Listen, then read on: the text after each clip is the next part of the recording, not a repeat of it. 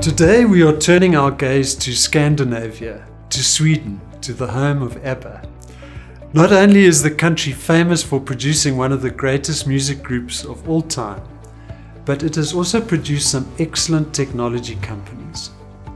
Spotify, the Swedish music streaming company that combines music and technology, has been described as the business that saved the music industry.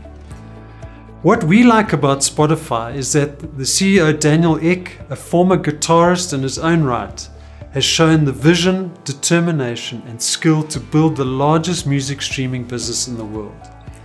They have creatively used the ad sponsored free model to initially attract customers and then to gradually convert them to loyal paying customers.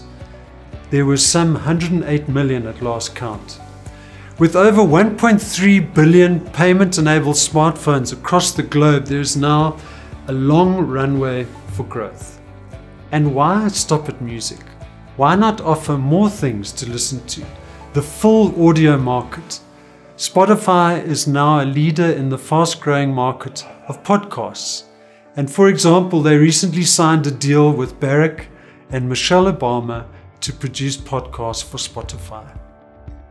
Now, as is typical for relatively young technology companies, the initial objective is to get the subscribers and attain market dominance. The profits come later. This is just how the technology industry works. So, as you would expect, Spotify is currently only breaking even in terms of profits. But the share price is suggesting that the company will only achieve a 6% operating profit margin over the long term. Considering how the market may evolve and the strength and vision of the team at the company, we think they will do better than 6%. In other words, the share price has room to grow. Spotify was one of the first investments we made in our recently launched Anchor Global Technology Fund.